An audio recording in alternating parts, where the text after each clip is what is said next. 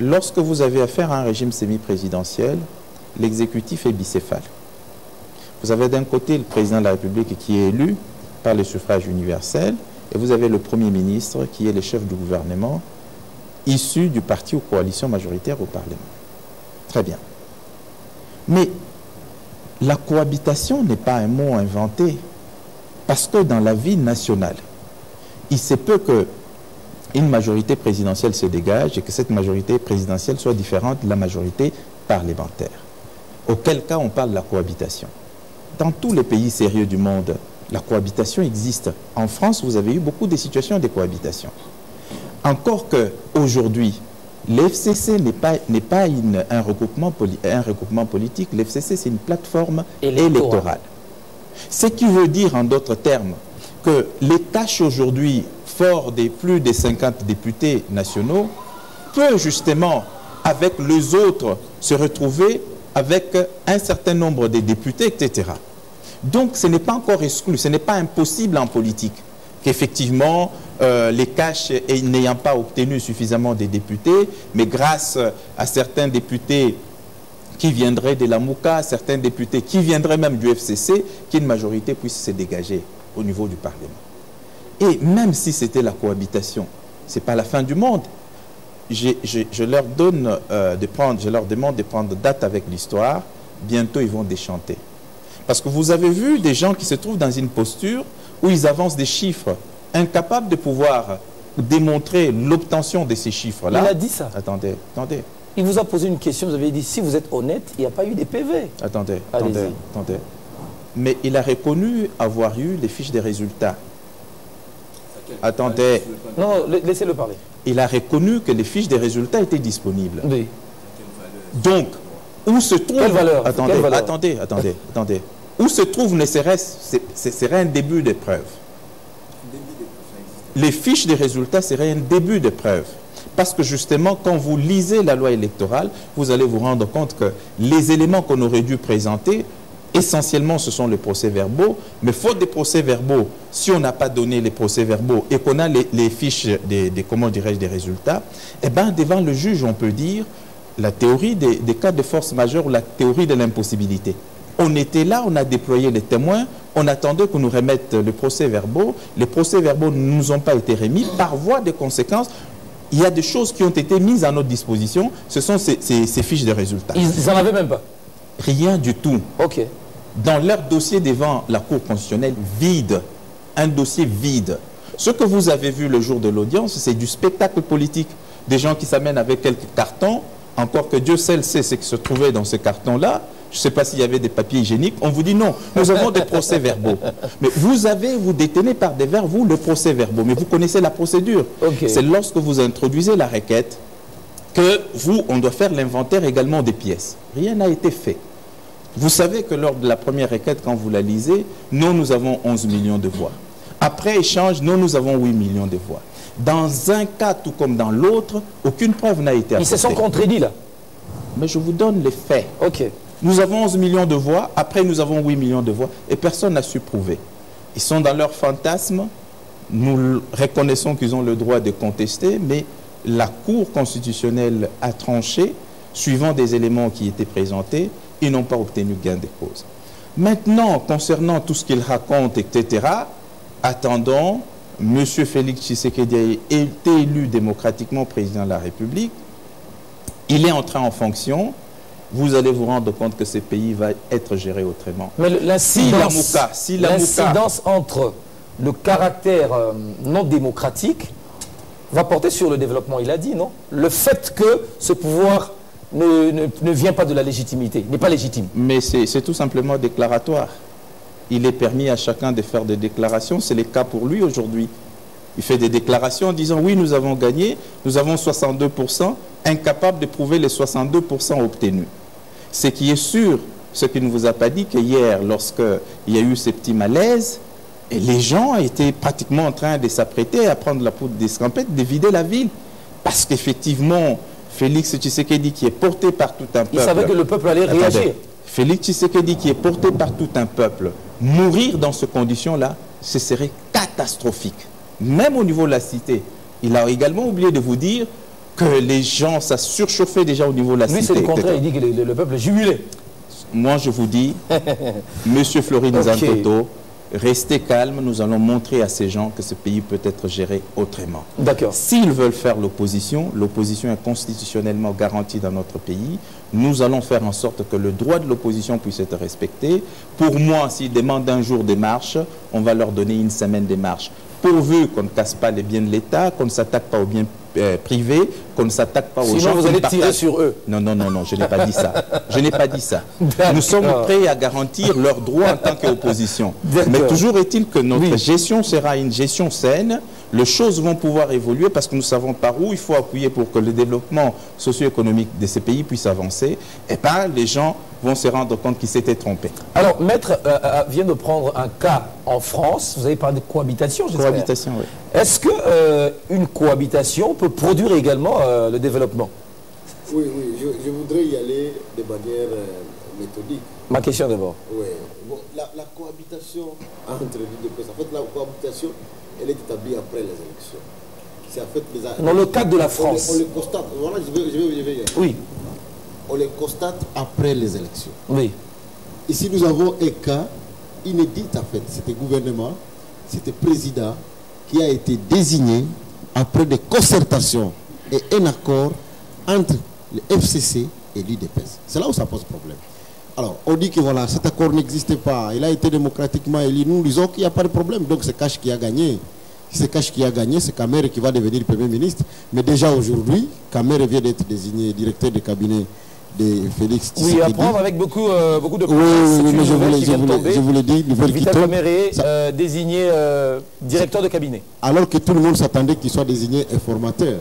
Ça veut, ça veut dire que déjà à cette étape-là, ça va confirmer petit à petit. Vous savez, on dit que toujours la vérité monte par la euh, par l'escalier, alors que le reste, ça, ça, ça- ça monte par L'ascenseur.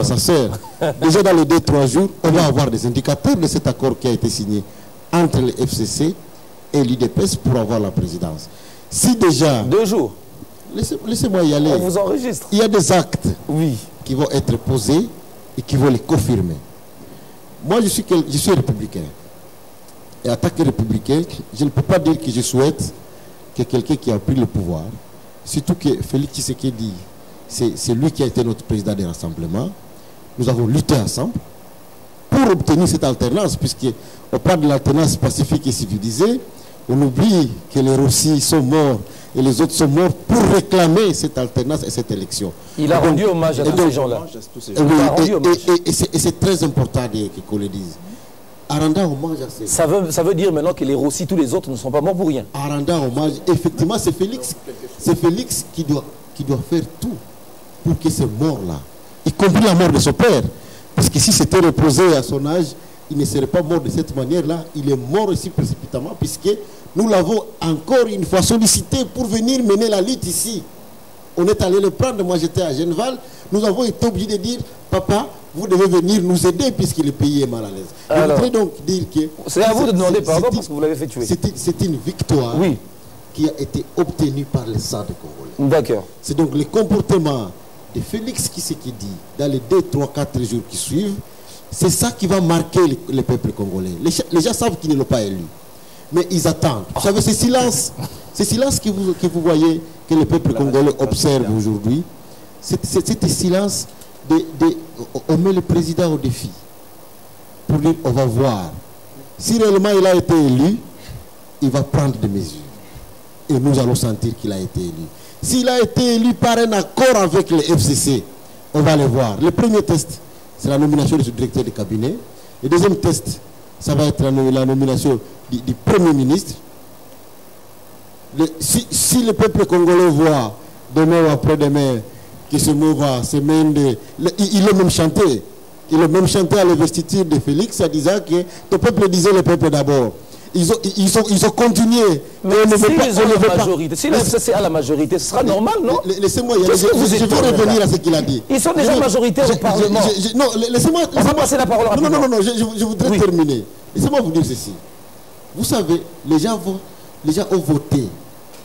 Même si on s'attient aux données rendues publiques par la CENI, les gens ont voté à plus de 78% contre le pouvoir. même si on s'attient aux, données de la CEDI, qui ont donné 38 et 34, Fayoulou et Kisekedi, et puis les autres, c'est 78%. On vous a expliqué la dernière fois comment les gens étaient nommés au niveau, euh, élus au niveau de la législation Laissez-moi y aller. J'ai été, déjà été élu député. Vous savez ce qui s'est passé. Oui. Le peuple a rejeté FCC. Rejeté. Les données, les données réelles, c'est que Chadari n'a que 16%. Rejeté. Alors, je voudrais vous dire ceci. Si le peuple qui a rejeté à 78% ou à, 80, à 84% le FCC voit le FCC revenir par Félix, ça va être une catastrophe. D'accord. Alors, il y, a, cette crainte-là, je voudrais la poser sous forme d'une question. Euh, Félix dit, vous étiez dans une lutte avec les autres ensemble pour l'alternance, mais euh, ce rapprochement avec le FCC pour euh, cette gestion que vous avez décriée risque de vous porter préjudice, non? C'est la crainte de la population. C'est quand même étonnant. Hein. L'honorable vient de le reconnaître. Félix Tshisekedi était leur président au rassemblement. Lorsque nous sommes allés à la Senco pour obtenir euh, l'accord de la Saint-Sylvestre, c'était lui leur président. C'est bizarre qu'il l'accepte comme leur président au rassemblement pour qu'il puisse le mener vers la victoire de la démocratie et qu'aujourd'hui, c'est lui que vous, vous avez trouvé comme étant important, comme étant le plus à même de le symbole de l'alternance. Votre combat, il gagne. Aujourd'hui, vous dites non, il n'a pas gagné, c'est plutôt nous qui avons gagné. Euh, cette contradiction-là, dans les chefs de nos amis de la Mouka, est quand même... Euh, elle fait rire. J'entends... Euh, Maître Daniel. Maître Daniel, mon confrère Mbaou, dire non, non, nous n'avons pas, disons, Félix Tshisekedi n'a pas euh, la communauté internationale, nous aurons du mal à gérer parce que tout le monde nous a rejetés. Mais je me demande de quelle communauté internationale il parle. Moi, j'ai suivi que les États-Unis d'Amérique se sont dit prêts à travailler avec Félix Tshisekedi, l'Union européenne et tous les autres pays d'Afrique. Donc, je préfère, M. Zantoto, que vous puissiez nous permettre de développer notre programme, notre projet de société, parce que les Congos ont besoin que nous puissions nous mettre tout de suite au travail plutôt que d'être passéistes. Alors, je réponds volontiers à votre question. oui. Maître Gabin l'a dit, ce n'est pas la première fois qu'une cohabitation ou une coalition se fait à la tête d'un pays. François Mitterrand. Cohabitation, mais avec qui? François Mitterrand je vais, en venir. François Mitterrand n'a pas manqué de développer la France ou de travailler pour la France parce, qu'il avait cohabité avec Édouard Balladur dans un moment, et puis Jacques Chirac après. Jacques Chirac lui-même n'a pas été empêché d'appliquer son projet ou de faire des bonnes choses pour la France parce qu'il a été obligé de cohabiter avec euh, Lionel Gerspin. Donc, vous comprenez que lorsque tous nous avons en nous le bien-être de, la euh, de la population congolaise, nous avons en nous l'intérêt général comme la seule boussole, nous allons tous regarder dans une même direction pour travailler. Que ce soit Kamere Premier ministre, que ce soit Mova, que ce soit moi. Eh bien, parce que tous, nous aimons le Congo et que nous voulons que le Congo aille de l'avant, nous allons travailler ensemble afin d'y parvenir. Messieurs Zantoto, je vais vous dire une chose. On vous a dit ici, d'abord, le FCC n'a pas de majorité. C'est quoi le FCC En fait, est-ce que lorsque vous avez entendu euh, euh, Nanga... Le FCC n'a pas de majorité. Lorsque vous avez entendu Nanga déclarer ceux qui ont été élus aux élections législatives, vous avez entendu quelqu'un qui a été élu sur la liste du FCC Personne. Ce n'est pas un regroupement politique. Non, ce n'est pas un regroupement politique. Ça veut dire qu'aujourd'hui, qu'est-ce qu'il y a? Le premier parti politique qui a plus de députés, c'est le PPRD. Le deuxième, je vais vous étonner, c'est l'UDPS. Parce que l'AFDCA, c'est aussi un regroupement électoral. Politique. À part. Alors, si l'AFDCA est un regroupement politique, on peut considérer que c'est la deuxième force au Parlement et l'UDPS vient en troisième position. Donc, vous, allez, vous avez des groupuscules comme ça qui ont chacune euh, un certain nombre de députés. Et nous allons maintenant trouver une coalition, un groupe homogène qui sera maintenant dégagé par l'informateur au niveau du Parlement. Ce n'est pas maintenant, parce que juste ici, il n'y a aucun député qui a été élu sur la liste du FCC. Donc, le FCC n'existe pas au niveau du Parlement. Il n'y a pas de majorité parlementaire FCC qui sera en face de son Excellence, Monsieur le Président de la République, Félix Tshisekedi. Alors, vous, vous voyez cette majorité comment? Au regard de, de, de leurs analyses. Merci de la parole. Permettez que je revienne sur euh, les propos du confrère euh, Gabel Olendo. Parce qu'il faut aujourd'hui une petite dose d'andragogie constitutionnelle. C'est un juriste, mais il n'est pas constitutionnaliste. Il s'hazarde à aller pénétrer. Prenez le micro. Il s'hazarde. Je disais que euh, depuis qu'il est cache, Maître Gabel Olendo, il verse, j'ai constaté, il verse par moments dans le contre-vérité. Maître Maître Gabel Olendo est dans les agitations. Ce n'est pas la première émission. Donc je crois que c'est la quatrième, la cinquième émission où je, ne ressens plus Gabriel Hulendo que j'ai connu. Et Gabriel Hulendo prend les risques d'aller dans les eaux profondes, alors qu'il n'en a pas la boussole. Les droits constitutionnels, il est juriste, il doit être euh, très humble lorsqu'il parle du droit constitutionnel en face des techniciens des droits constitutionnels. Il a parlé du régime semi-présidentiel. Il est dans la typologie classique. Monsieur Lulendo, vous êtes dans la typologie classique, c'est très dépassé. Cette typologie, régime Il doit revoir ses notes. Non, il doit revoir. Et les droits constitutionnels évolué. Aujourd'hui, nous ne sommes plus même dans la typologie moderne, nous sommes dans la typologie post-moderne. Où la qualification du régime politique dépend de l'organe qui a l'effectivité du pouvoir. C'est l'organe qui a l'exercice effectif du pouvoir qui a les derniers mots. Et donc, le type du régime que nous avons, c'est un régime de type parlementariste. Parce que même pour son information, le régime semi-présidentiel, c'est une variante du régime parlementaire. Parce qu'on a un parlementaire, pour l'intérêt de tous ceux qui nous suivent, il y a des régimes parlementaires monistes, il y a un régime parlementaire dualiste, là, quand il parle du bicéphalisme, mais il y a également euh, des régimes parlementaires du type mariens. Il y en a beaucoup. Et les régimes que nous avons dans la typologie moderne entrent dans le lot des régimes. Comment ça fonctionne? Dans ces régimes, lorsqu'il y a cohabitation, n'est-ce pas? Le gouvernement est enclin, dans la plupart des cas, est enclin lorsque les deux courants politiques ne se mettent pas d'accord à l'instabilité. C'est-à-dire que vous avez une majorité qui est hostile au président de la République. C'est comme dans le cas d'espèce. S'il réunit les FCC, donc de droit, le FCC sera une majorité qui sera hostile. Et il a cité Balladur. Il ne renie pas le FCC. Non, mais il dit qu'il n'y a pas fusion par absorption. Mais nous disons avec honorable Moïse Nzangi, mon collègue du Parlement, nous disons que Cash a été absorbé. Mais si Cash n'a pas été absorbé, nous avons dans l'hypothèse de la cohabitation, ou carrément ils ont fait la confusion, ils sont dans la coïncidence du pouvoir. Parce qu'il y a la cohabitation et la coïncidence. S'ils sont dans la cohabitation, il a parlé de, la cohabitation lorsque le président de la République ne s'est pas d'accord avec le Premier ministre et la majorité. Le pays plonge dans l'instabilité. Et l'instabilité devient chronique lorsque celle-ci est accentuée par l'illégitimité. Le président n'est pas fort parce que le président n'a pas été réellement élu au suffrage universel direct. Il s'est reposé sur un accord politique, il se retrouve où il est. Il a une majorité qui est hostile. D'ailleurs, Edouard Balladur, il a un précieux ouvrage que je lis euh, constamment. Où il dit clairement, il dit alors qu'il était Premier ministre, que la cohabitation institue en France un système opaque, parce que la responsabilité s'en trouva diluée. Or, la véritable démocratie requiert la clarté. Donc, il y aura un déficit de clarté dans la responsabilité politique. Si ils admettent, laissez-moi, c'est de l'andragogie constitutionnelle.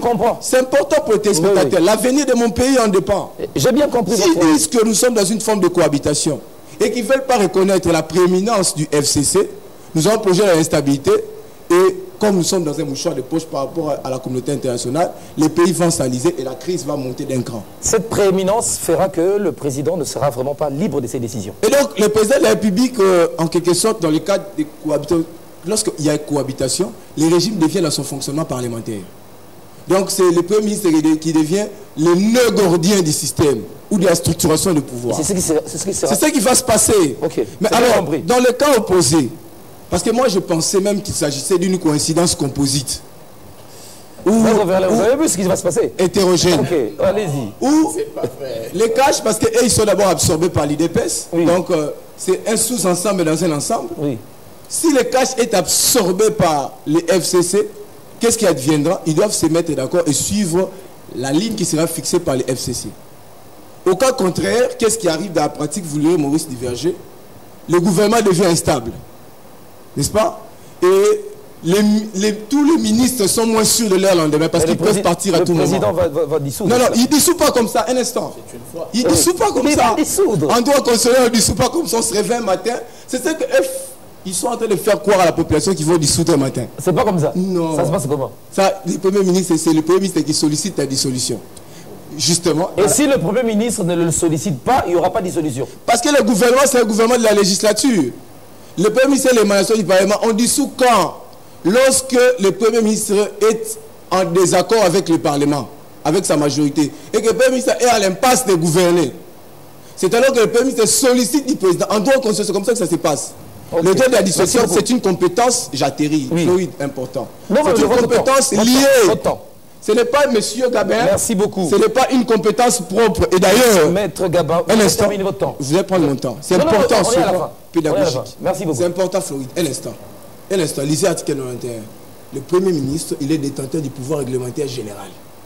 Alors que le président de la République est détenteur du pouvoir réglementaire résiduel. Donc son pouvoir est soumis au contre-saint primo-ministériel ou ministériel. Donc dans le jour qui vient... Merci beaucoup, merci, merci. Même Gabin pour être nommé... Maître, maître Gabin, là on est en train de... Là, maître Gabin, euh, on a comme l'impression que vous emmenez euh, le peuple dans, une incertitude. Dans l'inconnu. Dans une incertitude. Euh, au regard de la clarté euh, de, son raisonnement. Expliquez-nous. Vous savez, Mbaou s'illustre dans un, dans un théâtre et dans un spectacle. Encore le. S'il vous plaît, s'il vous plaît, non, non, non, non, non, on va éviter ça. Le droit. Non, non, on va éviter ça. Tu vois comment il est agité, non? Voilà. La science, c'est dans les calmes, pas dans l'agitation. Il dit que le président de la République a un pouvoir résiduel. Pas toujours. Au regard de la Constitution. S'il vous plaît, s'il vous plaît. Au regard... Non, non, non, non, non, non, non, non, pas ça. Pas ça, s'il vous plaît. On y va. Au regard de la Constitution, les contraintes du, du président de la République n'interviennent pas dans toutes les matières. Par exemple, lorsque le président de la République exerce son pouvoir réglementaire de la nomination du Premier ministre, il n'a pas besoin d'un contre-saint du Premier ministre. Il n'est pas d'accord. Continuez. Ce que je vous dis là, c'est constitutionnel. S'il n'est pas d'accord, il ne comprend pas, il ne connaît pas le droit constitutionnel. attendez, non, non, non, non, s'il vous plaît, vous n'allez pas répondre. C'est son, temps de parole. Je vous en prie, c'est son temps de parole. Donnez-moi votre micro, s'il vous plaît. C'est son temps de parole. Continuez. Vous voyez que je l'ai écouté religieusement. Oui, oui, vous avez les contre-saints n'existent pas. Il y a un certain nombre de pouvoirs que les présidents exercent, qui sont de pouvoirs réglementaires, mais sans qu'il y ait les contre-saints du premier, du premier ministre. C'est l'exemple, l'ordonnance des nominations du Premier ministre. Cette ordonnance n'est pas contresignée par le Premier ministre lui-même. Lisez la Constitution. Vous verrez que ce que je vous dis là, c'est vrai. De quoi tu parles? De deux, poser la même question. À supposer que Martin Fayoulou avait gagné l'élection présidentielle. Il se retrouverait devant quelle situation? Sans, sans député sans, majorité. Il n'inventerait pas les députés. Ce sont, il y a eu trois élections qui ont eu lieu le même jour. Exactement. L'élection du président de la République, l'élection du Premier ministre et l'élection des députés. Et qu'est-ce que j'ai L'élection du, président de la République, l'élection des députés nationaux et l'élection des députés provinciaux. À supposer qu'aujourd'hui, comme on l'a dit avec les AAA, l'FCC a la majorité parlementaire, Fayoulou est élu président de la République, se retrouve devant quelle situation? C'est là où le raisonnement de l'honorable Nzangi est biaisé en disant, mais écoutez, c'est grâce à ces deals que Vital Kamere est nommé directeur de cabinet du chef de l'État. C'est le premier indicateur. Ça n'a rien à faire. Pourquoi? Pour la simple bonne raison que si Vital Kamere est nommé directeur de cabinet de Félix, sûrement que au niveau bien évidemment du cash, ils ont compris qu'ils ne vont pas avoir la coalition majoritaire au Parlement, laquelle coalition permettrait au cash de dégager un Premier ministre dans son rang. C'est ça l'explication. Ah, Ce qui veut dire que même celui qui a perdu les élections, qui est considéré comme gagnant par les lamoukistes qui sont ici, s'il est élu président de la République, la situation resterait inchangée. Alors, pourquoi on reproche à, Vital Kamere et Félix Tshisekedi de se retrouver dans une situation... Vous seriez devant un grand mur, vous aussi. Hein. De se retrouver dans une situation de non-contrôle euh, comment dirais-je, de la majorité parlementaire, alors que si c'était leur cas, ils se retrouveraient devant la même situation. devant la même situation, évidemment. De deux, vous avez entendu Daniel, il n'a pas nié le fait qu'il s'agit d'un régime semi-présidentiel. Il entre seulement dans la typologie pour dire non, il s'agit d'une typologie classique et que cette évolution-là a évolué.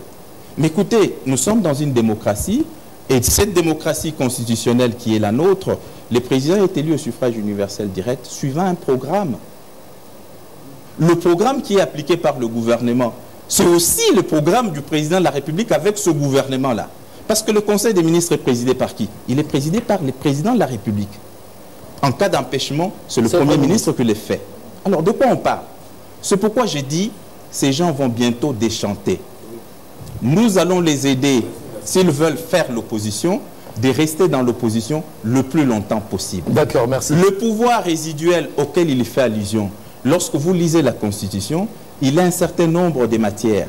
C'est-à-dire, l'acte décisoire émane du président, mais avec les contreseins du Premier ministre. Mais vous avez aussi des actes décisoires qui émanent du président qui ne nécessitent pas les contreseins du, Premier, ministre. C'est comme l'ordonnance de nomination du Premier ministre qu'ils se disent constitutionnalistes et qu'ils ne connaissent pas ces choses, c'est tout à fait ridicule. Ah, ok, d'accord. Alors, on vous, donne la parole. Vous êtes perdu? Non, je ne suis pas perdu. Allez-y. Moi, je, ne veux pas entrer dans un débat intellectualiste. Je voudrais seulement vous dire ceci. Vous savez, ce que je vous ai dit ici, oui. C'est que la vérité va éclater au grand jour. On a dit qu'il y avait... vous allez déchanter. On, avait, on a dit qu'il y avait un deal oui. entre le FCC et et heureusement que le, le qui est... Il ne vous a pas appuyé Non, non. il m'a appuyé puisque lui a dit qu'on va nommer un informateur. Mais moi, je voudrais l'informer que si vraiment le FCC était composite et que les, regroupements politiques à l'intérieur du FCC ne répondaient pas à la logique du FCC, moi, à la place de Félix, comme tout le monde, la première chose à faire, c'était la nomination de, la personne qui va faire de l'informateur qui va effectivement faire ce travail très rapidement puisque ça l'aiderait à, à conforter sa position. Mais il ne va pas le faire. Il ne va pas le faire parce que la, la présidence a été obtenue par un deal. Non. La différence. Non, non, non, c'est faux. La différence, c'est S'il ne le fait pas, s'il ne le fait pas, il aura compris qu'effectivement, ils ne vont pas avoir les, la coalition majoritaire. en ce moment-là, ça ne vaut pas la je peine. Voudrais y aller. Moi, je me si, si, si l'informateur ne, ne, sert à rien et que les résultats ne sont pas escomptés, pourquoi avoir un informateur? Il ne veut pas. Il ne Laisse tomber, c'est pas ça? Il ne, Oui, ils ne sont pas obligés de le faire. Ce que je, voudrais vous dire, c'est que la présidence a été obtenue par un deal. Et donc, ce deal doit être respecté. La ah, différence, la différence, On va respecter les clauses du deal. Les, clauses du deal. si Martin était élu, qu'est-ce qui arriverait et nous, et nous allons le voir. Si Martin était élu, qu'est-ce qui arriverait La différence entre Martin hmm. et Félix dans le cas d'espèce, c'est que Martin aurait eu la légitimité. Imaginaire non, laissez-moi vous dire. Puisqu'il a été élu. Vous êtes dans l'imagination. Il a été élu premier dans 20 provinces ah, oui. les 26. C'est pourquoi je vous Puisqu'il a eu la légitimité, oui. il allait avoir beaucoup de marge de manœuvre. mais, je, voudrais vous dire une chose. En faisant quoi? Parce que moi, moi, je crois moi, je crois qu'on doit aller à l'essentiel. Oui. Qu'est-ce que Félix doit faire pour sortir de ces bourbiers? Oui. C'est ça. Moi, je crois que le débat allait plutôt se focaliser sur ça. Il y a un bourbier. Aujourd'hui, oui, le, bourbier, c'est que le, peuple va constater très rapidement là qu'effectivement, c'est une présidence obtenue Qu'est-ce qu'il doit faire Qu'est-ce qu'il doit faire Je crois que ce que le président Félix doit faire, il doit considérer qu'aujourd'hui, sa, sa, sa, sa présence à la tête de l'État, c'est le début d'une transition vers un véritable état de droit. Si vous le dites, Si le plan politique, si le plan politique, le président Félix doit, comprendre que voilà, il vient d'obtenir l'impérium. À partir de cet impérium, il doit réunir les Congolais.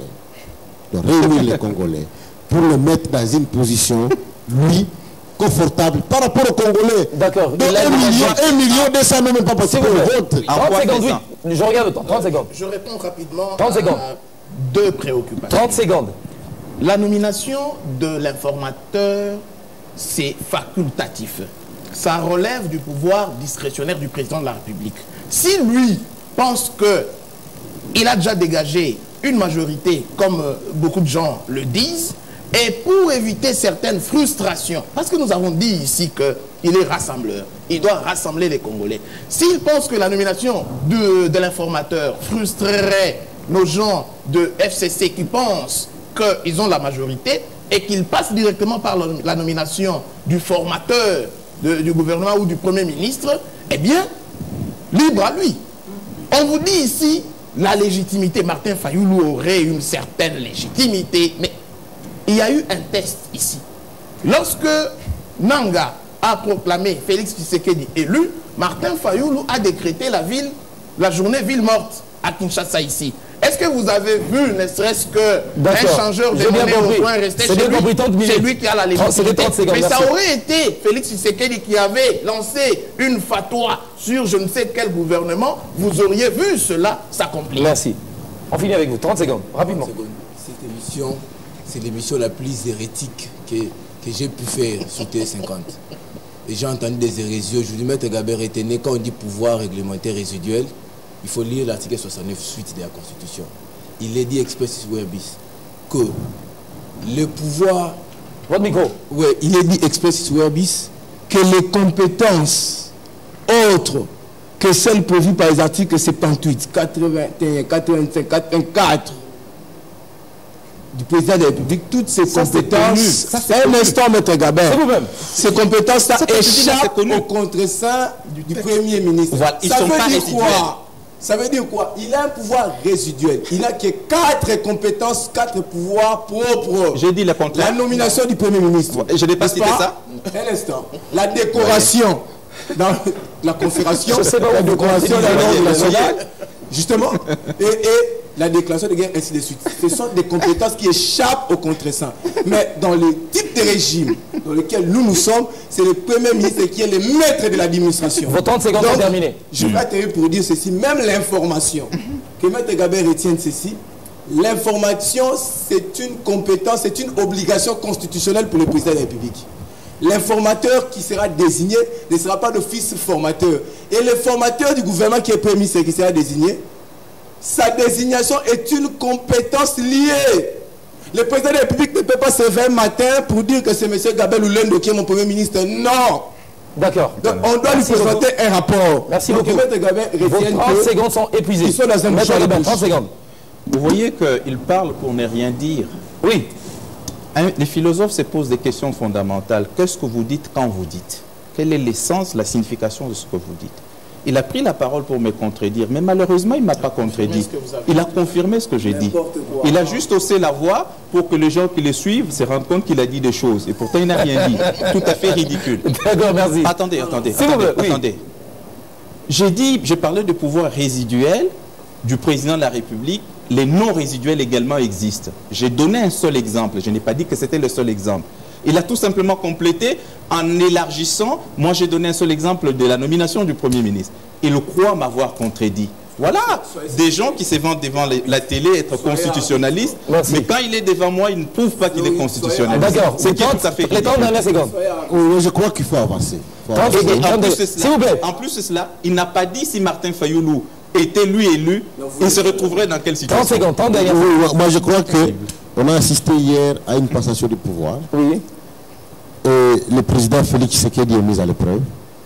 Je crois que le premier pas qu'il va faire, ça va déterminer l'assise qu'il va avoir. Et moi, je crois, et je conseille, si j'étais le, conseiller, je lui dirais, Monsieur le Président, vous avez été installé, c'est l'aboutissement des combats qui a été fait, même si vous n'avez pas toute la légitimité, vous avez le pouvoir de fait, essayez essayer de faire en sorte que l'ensemble des Congolais comprennent que les changements pour lesquels ils ont voté, vous l'avez fait. Merci Mais si les gens voient les mêmes têtes qu'ils ont toujours vues avec Kabila, dans les systèmes qu'ils ont décriés pour lesquels ils ont voté contre, ils vont se rendre compte très rapidement que c'était pouvoir obtenu par un deal et non pas par une élection. Il n'y a eu aucun deal. Merci Moïse Donzangui, député national. Merci Gabin Loulendo, porte-parole. À un moment donné, les deux doivent prendre fin. Verlin Kaïsamba, porte-parole de la génération Fachi. Merci également à Daniel Mbaou, député national et cadre du MLC. Je sais que vous êtes député national et félicitations pour ça. Merci à vous d'avoir suivi cette émission. Merci à vous d'être venu. On se retrouve vendredi prochain avec le même plaisir.